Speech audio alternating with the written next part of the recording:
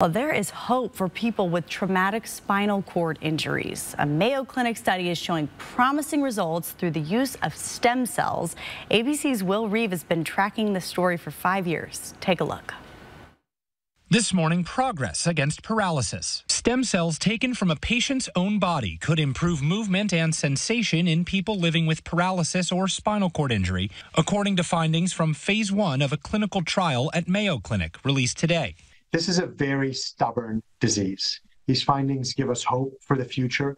The study followed 10 patients and showed that seven of them had an increase in sensation when lightly touched or pricked and had more strength in certain muscle groups. The remaining three patients did not improve or get worse. This trial shows us that stem cells are safe and potentially beneficial in the treatment of spinal cord injury. This can be a milestone in our field of neurosurgery, neuroscience, and treating patients with a spinal cord injury. If you push down on my knees, let me blow your mind. Wow. Whoa. wow. One success story is Chris Barr, the first patient in the trial, paralyzed from the neck down in a 2017 surfing accident.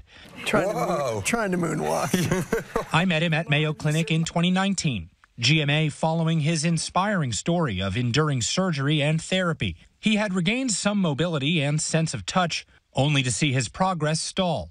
It took him nearly a minute to walk just 30 feet. But upon entering this ambitious stem cell trial, Barr's fortunes turned.